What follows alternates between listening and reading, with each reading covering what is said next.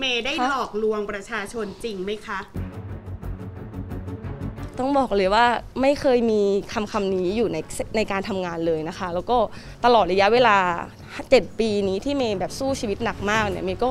มีแต่สร้างสิ่งดีๆ ให้กับ คนรอบข้างแล้วก็สังคมซะด้วยซ้ำค่ะบางอย่างอะค่ะ เด็กคนหนึงเติบโตมาเนี่ยหนูก็ทำงานไปเรื่อยๆ แต่หนูก็ไม่รู้ว่าบางอย่างมันก็อาจจะผิดข้อตกลงหรือว่าผิดกติกาในสนามนี้บ้างอะไรบ้างอย่างเงี้ยค่ะหนูก็เรียนรู้กันไปอย่างเช่นเรื่องบางเรื่องหนูก็ไม่รู้จริง ๆ อยากพูดอะไรคะคือตำรวจได้มาแจ้งข้อกล่าวหาเราค่ะก็อย่างอย่างที่เกิดขึ้นนะคะตัวเมย์ก็ เข้ามาที่นี่เพื่อแสดงความบริสุทธิ์ใจนะคะ คือเมย์ก็เป็นคนทำงานเนาะตลอดระยะเวลาที่อยู่ในเส้นทางนี้อะค่ะ เมย์ก็เรียนรู้ปรับปรุงพัฒนามาตลอด ก็เลยทำให้เมย์มีมีวันนี้นะคะ แล้วก็อย่างวันเนี้ยมันก็เป็นอีกข้อผิดพลาดหนึ่งที่เมย์ก็พร้อมจะแก้ไข แล้วก็เดี๋ยวก็ทำไปตามกระบวนการค่ะ ไม่มีอะไรเลยสำหรับหนูร่างนี้คุณเมย์บอกหมายความว่าอะไรครับไปคือมันอาจจะ บางอย่างอะค่ะ เด็กคนหนึงเติบโตมาเนี่ยหนูก็ทำงานไปเรื่อยๆ แต่หนูก็ไม่รู้ว่าบางอย่างมันก็อาจจะผิดข้อตกลงหรือว่าผิดกติกาในสนามนี้บ้างอะไรบ้างอย่างเงี้ยค่ะหนูก็เรียนรู้กันไปอย่างเช่นเรื่องบางเรื่องหนูก็ไม่รู้จริง ๆ แต่ว่าสุดท้ายแล้วอะค่ะหนูเนี่ยเป็นคนทำงานหนูก็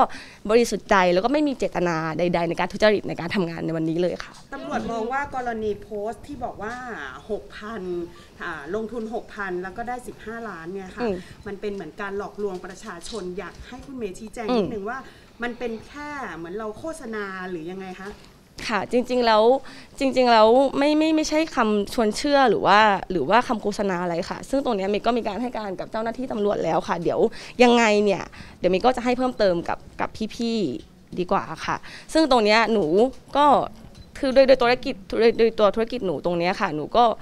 ไม่หนูก็ไม่ไม่ไม่ได้สร้างเรื่องที่จะหลอกลวงหรือว่าชวนเชื่อมาทางนี้เดี๋ยวรอให้มันไปตามขั้นตอนกระบวนการ แล้วเดี๋ยวพอวันหนึ่งทุกทุกอย่างมันออกประจักษ์ขึ้นอะไรอย่างเงี้ยเดี๋ยวก็ได้คำตอบเองค่ะน้องไม่นิ่มนี่ร่วมเกี่ยวข้องกับการสร้างเซตเรื่องนี้ขึ้นมาด้วยไหมคะไม่มีใครเกี่ยวข้องไม่ไม่มีการสร้างเรื่องใด ๆ ค่ะ ทุก ๆ อย่างก็คือเกิดจากมูลความจริงที่ที่หนู ได้ได้เข้าใจแล้วก็สื่อสารออกไปอะค่ะเดี๋ยวเดี๋ยวมีอะไรมากกว่านี้หนูขอบอกกับพี่ๆเจ้าหน้าที่เพราะว่าหนูกลัวว่าหนูพูดอะไรไป แล้วแบบมันมันอาจจะทำให้แบบว่าหนูทำงานยากนิดนึงมันค่ะ มีรายงานว่ามีเรื่องเกี่ยวกับข้องกับเงินผิดกฎหมายมาให้เราร่วมลงทุนทำธุรกิจกับเราจริงไหมคะ ไม่ไม่เคยมีค่ะ